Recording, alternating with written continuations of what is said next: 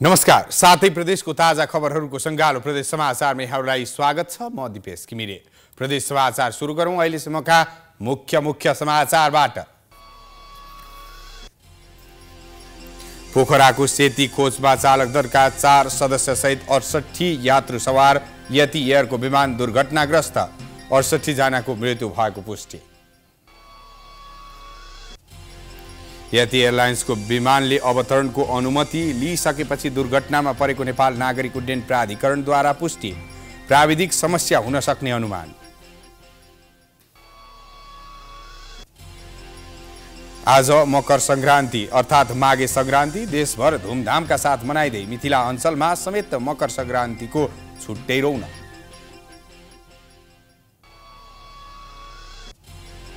र पश्चिम तराईका जिल्लाहरूमा थारू समुदायमा माघी पर्वको विशेष रौनक मान्यजनबाट टिका ग्रहण र नाचगान गरी पर्व मनाइँदै।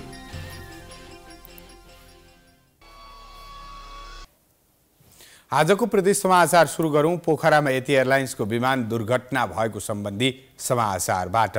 पोखरामा भएको यति एयरलाइन्सको विमान दुर्घटनामा अडसठी जनाको मृत्यु भएको पुष्टि भएको छ।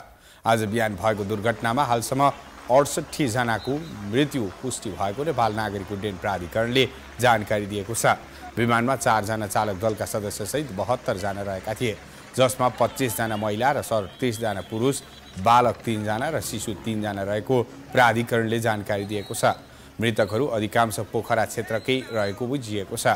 खोजमा विमान खसेपछि ठुलो आग लागि भएको थियो। आज बिहान काठमाडौँबाट दस बजेर बत्तिस मिनटमा पोखराका लागि नेपाली त्रिपन्न विदेशी पन्ध्र र चार चालक दलका सदस्यसहित उडेको यति एयरको एनटिवाई छ सय एकानब्बे नौ एनएनएनसी विमान दुर्घटना भएको हो।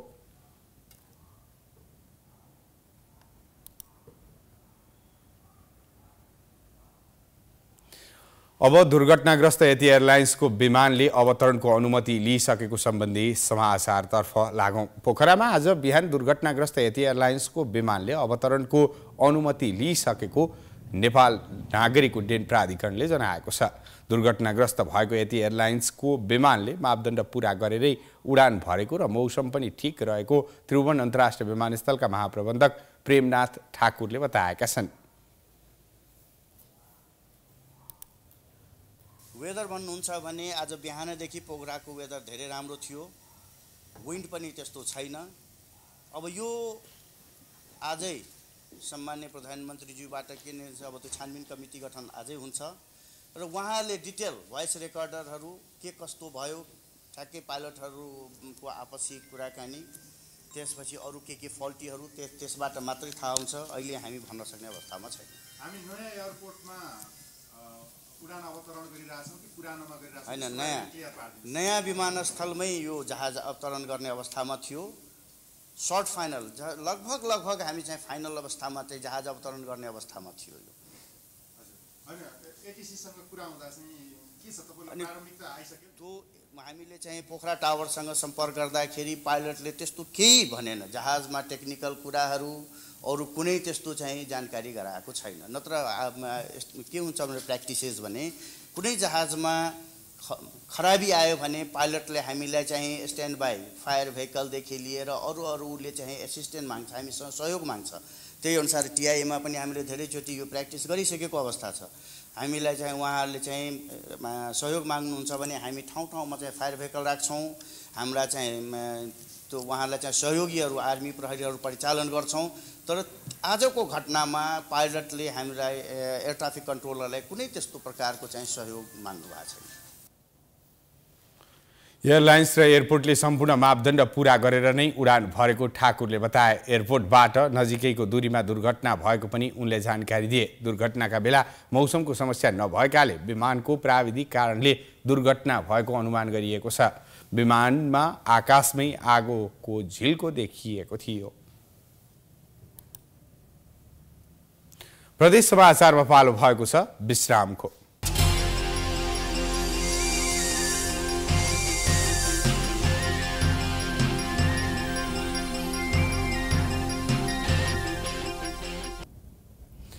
विश्रामपछि स्वागत छ। अब सुदूरपश्चिम प्रदेशको कञ्चनपुर स्थित महाकाली नदीमा माघे सङ्क्रान्ति मेला लागेको सम्बन्धी समाचार।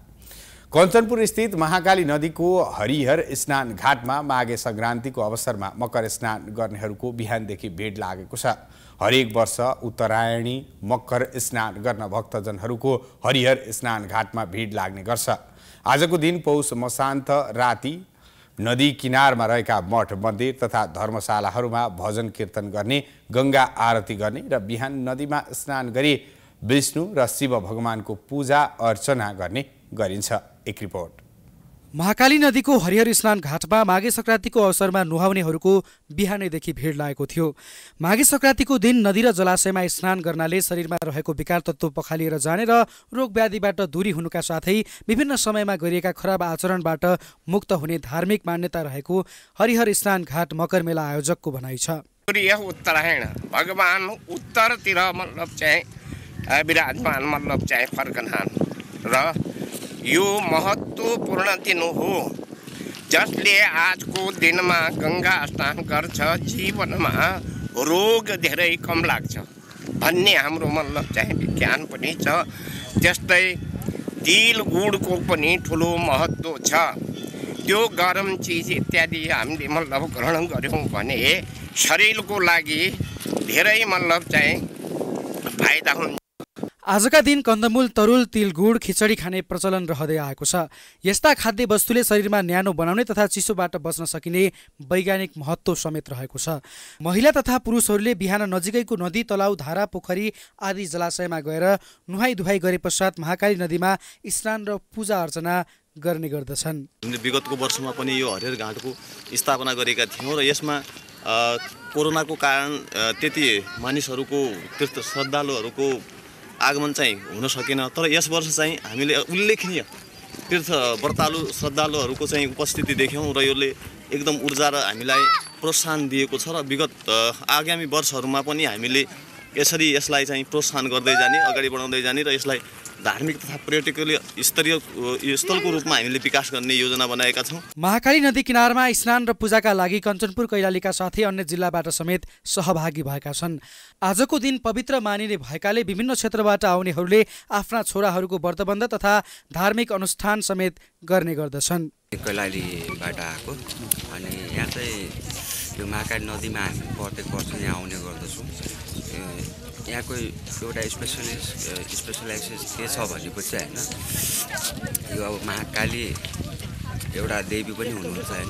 त्यस कारणले हामी चाहिँ यहाँ सामूहिक रूपमा हामीहरू यहाँ पूजा अर्चनाको लागि अनि साथसाथै यहाँ झारफुकहरू बिरामीहरूको लागि केही सेवा सुविधा दिनुहुन्छ उहाँले चाहिँ होइन। त्यसको लागि चाहिँ हामी यहाँ आउने गर्छौँ प्रत्येक वर्ष। अनि साथसाथै स्नान पनि गर्छौँ यहाँ। हरिहर स्नान घाटमा स्नान गर्न कञ्चनपुरसँगै कैलाली डडेलधुरा तथा भारतको उत्तराखण्डबाट समेत भक्तजनहरू पुग्ने गर्दछन्। त्यस क्षेत्रको थप विकास तथा भक्तजनहरूको लागि धर्मशाला शौचालय लगायतका सुविधा दिन सके भक्तजनहरूको सङ्ख्या वृद्धि हुने देखिन्छ। मकर सङ्क्रान्तिको उपलक्ष्यमा यस हरिहर घाटमा स्नान गर्ने श्रद्धालु भक्तजनहरूको गत वर्षभन्दा यो वर्ष अलि बढी भिड छ। र यसलाई अझ व्यवस्थित गर्न सक्यौँ भनेपछि यो यो घाटलाई अलि धार्मिक पर्यटन स- स्थल बनाउन सकिने अपेक्षा छ र यसमा सबैले आफ्नो आफ्नो क्षेत्रबाट सहयोग गरिदिनु होला भन्ने अनुरोधका साथै यस घाटले यस स्थानले एउटा ठुलो टेवा मिल्नेछ भन्ने भनाइ प्रत्येक वर्ष माघे सङ्क्रान्तिका दिन महाकाली नदीसँगै जिल्लाका अन्य ठुला नदीमा स्नान गर्ने र विभिन्न मठ मन्दिरमा पूजा अर्चना गर्नेहरूको भिड लाग्ने गर्दछ। हरिहर स्नान घाट जस्ता धार्मिक महत्त्व बोकेका देवालय घाट तथा तीर्थस्थललाई विकास र व्यवस्थित घाटमा परिवर्तन गरे धार्मिक पर्यटनका साथै आर्थिक पाटो समेत सबल हुने देखिन्छ। प्राइम टेलिभिजनका लागि कञ्चनपुरबाट डिलिराज पन्तको रिपोर्ट। अब मध्य प्रदेशमा पनि मकर सङ्क्रान्ति मनाइएको सम्बन्धी समाचार। मकर सङ्क्रान्ति एवं मध्य प्रदेशका जिल्लाहरूमा पनि हर्षोल्लासका साथ मनाइएको छ। मकर सङ्क्रान्ति पर्वलाई मिथिला अञ्चलमा पनि विशेष महत्त्व दिएर मनाउने गरिन्छ। मकर सङ्क्रान्तिको दिन मिथिलामा तिला सङ्क्रान्तिको रूपमा पनि लिने गरिन्छ। तिल सङ्क्रान्ति भएकाले यस दिन सबैले तिल खानु अनिवार्य रहन्छ। खास गरी मानिजनहरूले आफूभन्दा सानालाई तिल खुवाउने गर्छन्। बुढेसकालमा छोरा तथा नातिहरूले साथ दिने मान्यताका साथ मान्यजनहरूले सानालाई खुवाउने गर्छन्। आध्यात्मिक मान्यता छै जे श्रेष्ठ जे छै से तिल दै छै तिल आ चावल दै छै। एकर भेल जे अहाँ हमरा भविष्यमे प्रोटेक्शन देब। तऽ अपना साउस ससुरके तिल बहतै। ताहि दुआरे लोक कहै छलै पहिलका लोकसभ आबक लोकसभ कहै छै जे बेटा बेटीमे कोनो अन्तर नहि छै। ताहि दुआरे बेटियोके लोक तिल बह कहै छै। आजका दिन मकर सङ्क्रान्तिको शुभ दिनमा गरिबलाई दान दिने पनि चलन छ। यो दान आफ्नो गोत्रका मानिसहरूलाई भने दिइँदैन। दानमा प्राय काँचो अन्न र काँचो तरकारीका साथै तेल चामल दाल पापड र न्यानो कपडाहरू दिने गरिन्छ। यस दिन मिथिलामा मकर मेला लाग्ने र शिव मन्दिरमा महादेवको पूजा आराधना गरिन्छ। बिहानैदेखि जनकपुर स्थित जानकी मन्दिरमा भक्तजनको भिड लागेको थियो। नवविवाहित मैथिल नारीहरूका रू का लागि मकर सङ्क्रान्ति विशेष महत्त्व रहेको छ जसले यसलाई जरौको रूपमा मनाउने गर्छन्। मिथिलामा आजकै दिनबाट तुसारी पूजा सुरु हुन्छ। मकर सङ्क्रान्ति र फागुन सङ्क्रान्तिको बिचमा हुने यो पूजा मिथिलाका अविवाहित युवतीहरूले गर्ने गर्छन्। यस समयमा पूजा गर्नाले असल श्रीमान प्राप्त हुने जनविश्वास रहँदै आएको छ।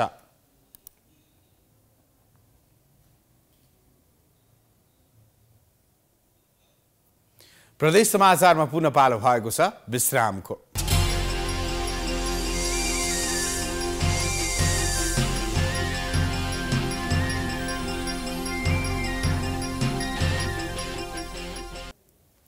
विश्रामपछि स्वागत छ। अब पश्चिम तराईका जिल्लामा थारू समुदायले माघी पर्व मनाएको सम्बन्धी समाचार।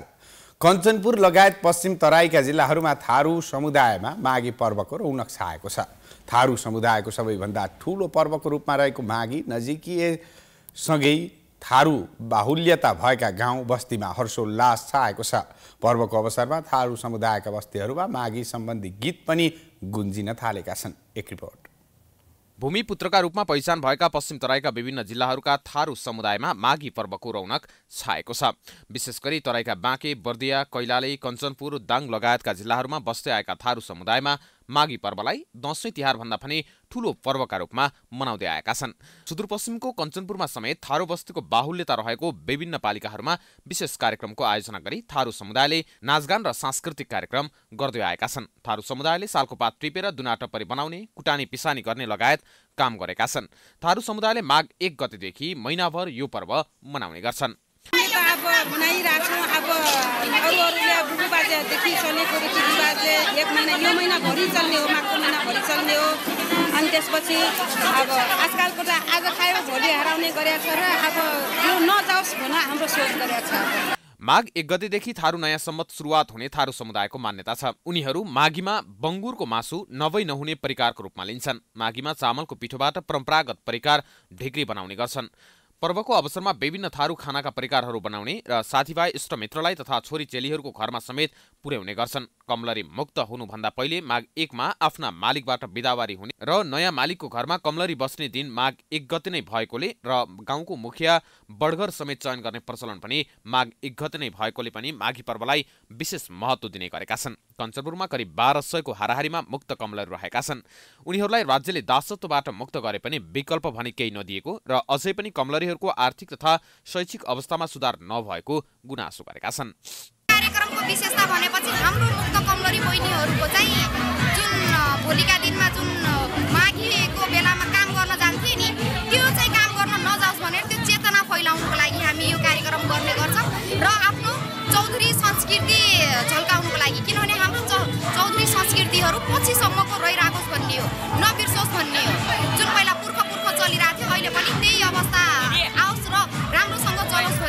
थारू समुदायमा पुस अन्तिम दिनदेखि पर्व सुरु हुने गरेको छ। पहिलो दिन वर्षभरिको दुःख पीडा बिर्सेर मासु भात लगायत मिठा परिकार खाएर रमाउने चलन छ। सखिया नाच लट्ठी नाच देखाउँदै घर घरमै गएर सानालाई आशीर्वाद दिने र ठुलाबाट आशीर्वाद लिने गरिन्छ। माघ एक गतेका दिन सबेरै उठेर नजिकैको नदी तलाउमा नुहाएर पूजापाठ गर्ने प्रचलन छ। तर पछिल्लो समय पुस्तान्तरण नहुँदा कतिपय पर्वहरू लोप हुने खतरामा पुगेका छन्। स्थानीय तहहरूले समेत थारू समुदायको पर्वलाई जगेर्ना गर्न चासो दिएका छन्। पाँच वर्षभित्र सबै अरू दलहरूसँग नेकपा एमाले अरू अन्य दलहरूसँग पनि मिलेर उहाँहरूको समाधान कसरी गर्ने भन्ने भन्नेछु यो व्यवस्था भएको छ। यसलाई कसरी व्यवस्था सुरु गर्ने भन्ने पनि मसँग एउटा तथ्य पाइन्छ म सबै दलहरूका साथलाई सर्वदलीय दलहरूलाई राखेर तपाईँहरूको यसलाई सुन्दर हिमदत्त बनाउने र तपाईँहरूको व्यवस्थापन गर्ने म प्रतिबद्धताका साथ कमलकी बहिनीहरूलाई धन्यवाद दिँदै बिदा हुन्छु। धन्यवाद जय धार्मिक र सामाजिक महत्व बोकेको माघी थारू समुदायका मुक्त कमयका लागि मुक्तिको पर्व पनि हो। माघी मनाउन विदेश रहेका व्यक्ति पनि घर फर्कने गर्छन्। समाजमा भाइचारा र जातीय सहिष्णुता जगाइराख्न र समुदायको पर्वलाई जगेर्ना गर्न राज्यले समेत विशेष चासो दिनुपर्ने थारू समुदायका अगुवाहरूको भनाइ छ। प्राइम टेलिभिजनका लागि कञ्चनपुरबाट डिल्लीराज पन्तको रिपोर्ट। अन्त्यमा सुर्खेतमा रहेका थारू समुदायले कार्यक्रमको आयोजना गरी माघी पर्व मनाएको सम्बन्धी समाचार। सुर्खेतमा रहेका थारू समुदायले भव्यताका साथ माघी पर्व मनाएका छन्। हरेक वर्ष थारू समुदायले माघी पर्वलाई नयाँ वर्षका रूपमा धुमधामका साथ मनाउने गर्छन्। सुर्खेतका विभिन्न ठाउँमा थारू समुदायहरू बस्दै आएका छन्। थारू कला संस्कृतिको जगेर्ना गर्नका लागि पुसको अन्तिम दिनदेखि माघी मेला महोत्सव गराई पर्व मनाउने गरिन्छ। माघीमा पाहुना धेरै जम्मा हुने भएकाले जाँड रक्सी ढिक्री रोटी लगायतका खानेकुराका परिकार तयार गर्न समुदायका युवतीहरू व्यस्त हुने गर्छन्। माघी पर्व आउनुभन्दा केही दिन पहिले दुना टपरी गाँस्ने जङ्गल गई दाउरा ल्याउने तोरीको तेल पेल्ने घर लिप्पोत तथा आँगन सरसफाइ लगायतका कामहरू गर्ने गरिन्छ। नयाँ वर्ष र माघीमा रमाइलो गर्दै खुसियाली बाँड्ने गरिन्छ। त्यस्तै माघीमा विशेष गरी भुङ्गुरको मासु माछा गङ्गटा ढिकेरी लगायत खानाका लागि परिकारहरू बनाउने चलन रहिआएको छ।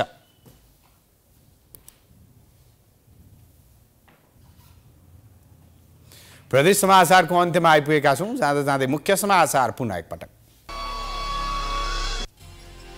पोखराको सेती कोचमा चालक दलका चार सदस्यसहित अडसठी यात्रु सवार यति एयरको विमान दुर्घटनाग्रस्त। अडसठी जनाको मृत्यु भएको पुष्टि।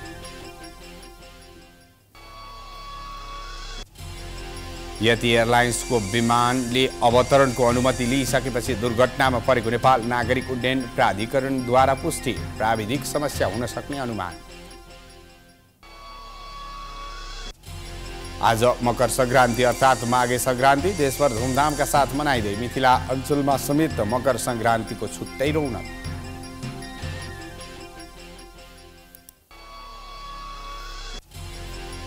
र पश्चिम तराईका जिल्लाहरूमा थारू समुदायमा माघी पर्वको विशेष रौनक मान्य जनसँग टिका ग्रहण र नाचगान गरी पर्व मनाइँदै।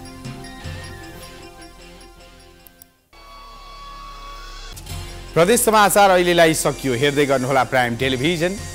नमस्कार।